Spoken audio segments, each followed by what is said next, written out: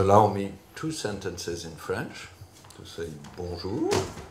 Merci, chère Agnès, de ces mots d'accueil. Euh, merci à Olivier et à toute l'équipe de PSE. And now I switch to English to speak about monetary policy and its current challenges. And let me stress that it is a particular pleasure to welcome you on the occasion of this 10th anniversary of the Chair Banque de France PSE. All anniversaries are worthy of celebration, but the continued partnership of Banque de France with the Paris School of Economics is a particular reason to cheer. Over the past 10 years, it has been a testimony of how academic research and economic policy making can reinforce each other. In these precise past 10 years, thanks to this interaction between policymaking and research, much has been done to make our financial environment more capable of reining in financial excesses. Thanks to both, we have introduced many new unconventional tools to implement monetary policy.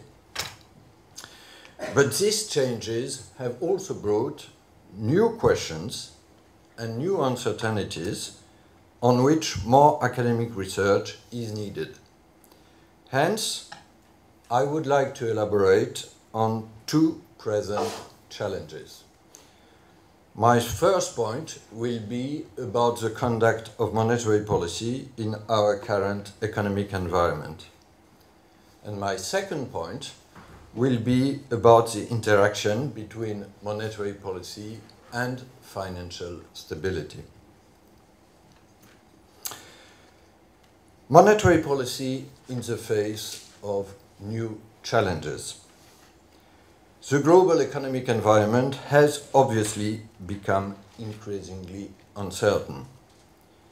In the short term, many of the uncertainties obstructing the economic outlook, and especially the manufacturing sector, are man made. And if you allow me, even one man made. Contingencies that not so long ago appeared as tail risks, such as an escalation of trade tensions or a disorderly Brexit have become looming threats. But uncertainty also pertains to long term structural trends. Over the past decade, the world economy has steadily recovered from the global financial crisis. But it has not returned to its pre crisis normal interest rates remain at historical lows due to a historically low level of the natural rate of interest, the famous R star. In the short run, this analysis, uncertainty as the first trigger of the present slowdown, should guide our ranking of policy answers. Monetary policy plays its role but it should not, less than ever, be the only game in town. It should not even be the first game in town. The first response would be for government driven uncertainties to be addressed directly and obviously by governments by removing the self induced threats to world growth. Failing that, a second answer is for fiscal policy to step in. Fiscal stimulus from countries with fiscal space would both stimulate aggregate demand and, with targeted quality investment, increase long term growth. Wage increases in countries that have long relied on wage moderation could also help in bolstering aggregate demand and inflation. and pro growth reforms would contribute to raise R star. Monetary policy provides a third response. For the past 10 years, there is little doubt that ECB monetary policy under Mario Draghi's presidency has made a decisive contribution not only to safeguarding the euro in 2012, but also to the significant recovery of the euro area since 2013. Over this period, more than 10 million jobs have been created. Our unconventional measures are estimated to add almost 2 percentage points of growth and of inflation as well between 2016 and 2020 cumulated. Since I am talking to an audience of researchers, I should of course emphasize that such numbers are also subject to uncertainty. This is a long view. However, the most recent monetary policy decisions of the Governing Council have given rise to many comments. My personal rule of conduct has been not to add my comments in the heat of the moment. Two weeks later, let me only say that I supported many elements of the package, including the strengthening of this forward guidance, I will come back to it, and the welcome introduction of a tiering system similar to those in all other jurisdictions with negative interest rates.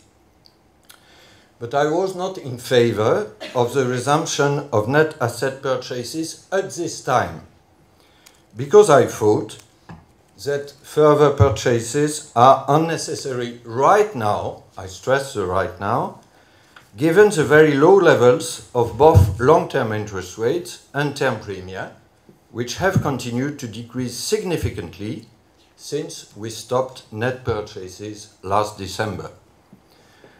The main purpose of QE is to extract more duration risks from the bonds market. Indeed, term premia have already been successfully compressed. The term premium on a 10-year OIS is estimated to be significantly negative at around minus 60 to minus 100 basis point.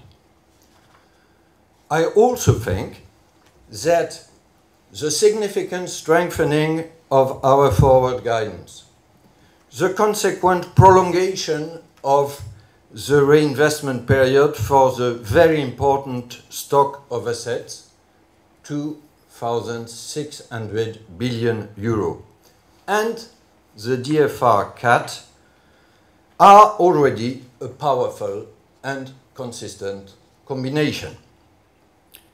Let me insist a bit on the forward guidance and its strengthening. It now states that we expect rates, I quote, to remain at their present levels all over until the inflation outlook robustly converge to a level sufficiently close to but below 2%, and this convergence has been consistently reflected in underlying inflation dynamics. Hence, our forward guidance is now strongly state-based, reflecting our enhanced commitment to reach our objective. This is significant progress that has perhaps been overshadowed by the arguments over QE. Let me add one thing. For me, it's not a question of a shifting balance between hawks and doves. I have never found this ornithological categorization to be of much help in designing monetary policy, and I refuse it. It is a question of pragmatic economic analysis which takes market expectations as useful indicators but is not dependent on them. But whatever the debate in the Governing Council has been, let us now look forward and stress one simple message that has unanimous agreement. Monetary policy has once more done its duty. It is now up to other policymakers to do theirs, starting with the fiscal authorities. As Mario Draghi pointed out yesterday in front of the European Parliament, I quote him, we need a coherent economic strategy in the euro area that complements and enhances the effectiveness of monetary policy. Unquote. This is not, however, a call for self congratulation. We have to do our homework on some renewed research questions where we cannot live with our old metrics and our present lack of knowledge. For that, we need more than ever your research and our dialogue. Let me mention some of these issues. First, the measurement of key structural determinants remains surrounded with uncertainty. I mentioned the uncertainty surrounding the trend in R star, but similar uncertainty pertains to the measurement of potential output and the natural level of unemployment, U star. We should also intensively work on the economic effects of climate change as a long-term but significant shock and its interaction with monetary policy. A second key issue is how to best measure inflation expectations. We know that expectations are key determinants of inflation, but it remains unclear what the most relevant measures of inflation expectations are. Expectations of professional forecasters at 1.7% and market-based measures at 1.3% have received most of the attention until now. But the expectations of firms as well as households, which can be significantly higher, matter at least as much for aggregate demand and price setting. As Benoit Cœuré rightly stressed in a speech last July, more research is needed on what household expectations are and how they form them. Third issue. There is still much we do not know about how firms and households form expectations on future, on future interest rates and how these uh, expectations affect their spending decisions. We know that standard DSG models tend to assume too much foresight from private agents. How to incorporate more realistic behavior is a central issue, especially when forecasting the effects of our new instruments such as forward guidance. To be sure, some uncertainty over the response of the economy to our policies will always remain, especially when firms and households are themselves still learning how our new measures affect the economy, and how to live with very low or negative interest rates. A last topic is how the possible side effects of our monetary tools on financial stability, and this brings me to my second part. To address concerns over financial stability, regulation and supervision, both microprudential and macroprudential, are of course available and essential. On financial regulation, let me say one thing. Ten years after the financial crisis, we must resist the temptation to unpick what has been done and the dangerous complacency to believe that this time could be different. On macroprudential policy, it is essential to foster financial stability, but however, it has its limits. To start with, as of today, our toolkit is very much bank centric. We are making some progress to extend macroprudential policy beyond the banking sector, but we are not there yet. And this is becoming a pressing issue as the non-banking sector is developing in reaction to the new macro-financial environment. In addition, as our macroprudential arsenal is still rather new and untested, uncertainty remains on the quantitative magnitude of the effects of our interventions. And finally, we should refrain from hubris. Over time, we will design a more comprehensive macroprudential toolkit and learn to make the best use of it. But while macroprudential policies can certainly contribute a lot, some root causes of financial crisis will remain out of their reach, and macroprudential policies alone would fall short of achieving financial stability. It is then legitimate to ask whether monetary policy should take into account financial stability concerns or even assist prudential policies. This is a very debated question. Let me share some thoughts with you on this very important one. To be sure, monetary policy has drawbacks as an instrument to foster financial stability. In particular, we know it, it cannot target specific risk. But as Jeremy Stein noted, the bluntness of the tool is also its strength. It affects all financial players. Let me take a step back and look at our mandate. The mandate given to the euro system is clear our primary objective is price stability. However, our statute, Article 3.3 of ECB statute, states that, I quote, we shall contribute to the smooth conduct of policies pursued by the competent authorities relating to the prudential supervision of credit institutions and the stability of the financial system. Careful attention to the dynamics of the indebtedness of households, firms, and financial intermediaries would also be in line with what I could call the intellectual tradition of the euro system, which is, as you know, this year 20 years old. So we have an intellectual tradition. Since its inception, the ECB has always given special attention to broad financial aggregates in setting the course of monetary policy.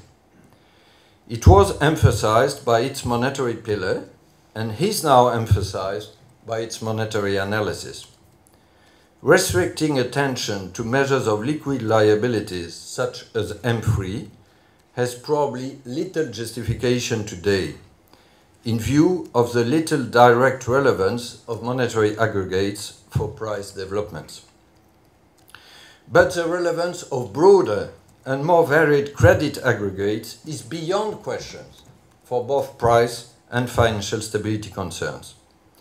Together with asset prices, that could, they could contribute the base of a revised credit and financial pillar, so broader than the old monetary pillar.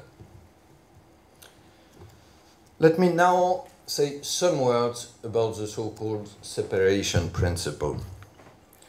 The link between monetary policy and financial stability raises two questions. First, what are the quantitative effects of monetary policy instruments on financial stability? We have enough evidence by now that interest rates policy can have effects on indebtedness, risk-taking, and the profitability of financial actors. It would therefore be short-sighted to ignore the side effects of monetary policy on financial stability. But second question, are these effects large enough to make it possible to preserve financial stability without compromising price stability? At this point, the precise terms of a possible trade-off are still being debated. The issues are complex. As Nuno Coimbra here at PSE emphasizes in a paper with Hélène Rey, a decrease in interest rates can encourage risk-taking when interest rates are low, but discourage it when interest rates are high. So let me only, at this stage, suggest two thoughts on this very open issue. First, the binary opposition between the traditional separation principles and, on the other hand, leaning against the wind makes less sense when monetary policy has itself several instruments at its disposal. A median way, which we could call coordinated or integrated, is possible. Indeed, that several instruments can allow to pursue several objectives is, as we know, just the old Tinbergen rule. This is particularly relevant within monetary policy in the present context. Over the past years, we have brought innovations to our operational framework and we have considerably extended our toolkit with balance sheet policy such as quantitative easing and TLTROs. These balance sheet policy were introduced with price stability objectives in mind. But now that this extended toolkit has brought us new degrees of freedom, it is valuable to think how this new flexibility could be used in the long run to minimize financial stability risks. Let me illustrate it with the example of tiering. The tiering system we have recently decided upon will allow our interest rates policy to deliver price stability without trading it off against financial stability. Far from entering into conflict with price stability, tiering will actually also ensure that our policies have the intended effects by alleviating the risk of a reduced pass-through of our policies to the financing cost of the private sector. And it may enhance the monetary policy stance by mitigating the side effects of keeping rates lower for longer. I wouldn't go as far as committing one particular monetary instrument to the financial stability objective. Instead, a parallel with public finance can prove useful. As you know, it is customary in public finance to see the problem of choosing tax rates as one of minimizing the distortions created by various tax instruments in order to raise a given amount of revenues. Similarly, it is possible to approach our monetary policy decisions as one of choosing the combination of instruments that minimize risks to financial stability in order to deliver the, the policy stance called for by our price stability mandate. Likewise, some of our new instruments could be more efficient in that regard. Under some dimensions, for instance, balance sheet policies differ markedly from interest rate policies. They provide valuable safe assets to banks, central bank reserves. And even more importantly, they can mitigate the risk that banks will try to supply the demand for safe assets by entering them themselves privately issued safe assets are poor substitutes for public safe assets. We saw it before the great financial crisis. I come to my second thought on this open issue very briefly. In any case, the purchase of private assets by the central banks should be kept to a minimum. Indeed, the asset side of the balance sheet what assets the central bank buys with the reserves it issues matters a lot. Buying an excessive amount of private assets, such as corporate bonds, would run the risk of distorting the signal that asset prices convey on the asset's riskiness. The present compression of risk premia and credit spread is already likely to increase somewhat risks to financial stability. I come to my conclusion to note that I have restricted my remarks here uh, to the policies that fall, at least in part, within the realm of a central bank. However, as emphasized earlier, monetary and prudential policies are not the only policies available. Due to the present economic environment, fiscal policies and structural reforms can and should be more and more part of the policy mix. But it also follows from the guiding principle that I have highlighted today that the more tools available, the easier it is to combine them to minimize the trade offs between price and financial stabilities. Fiscal policies, especially, can help monetary policy in several ways. First, it can, of course, help by taking away some of the burden of policy accommodation. But fiscal policy can also help, can also directly assist monetary policy in fostering financial stability. It can help monetary policy to provide the safe assets necessary to a resilient financial system, if possible, eventually, in, in, a, in a form of a euro area wide safe asset. On the tax side, fiscal policy should reduce all excessive incentives towards real estate investment and foster a more neutral allocation of savings according to a sound reward of risk. Let me end with one simple and obvious questions linked to this 10th anniversary. What will monetary policy be like in 10 years? We clearly don't precisely know. This is the only honest answer. But we can at least share one conviction.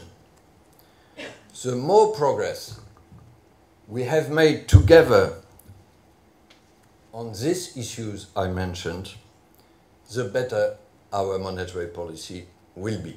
Thank you for your attention and your cooperation.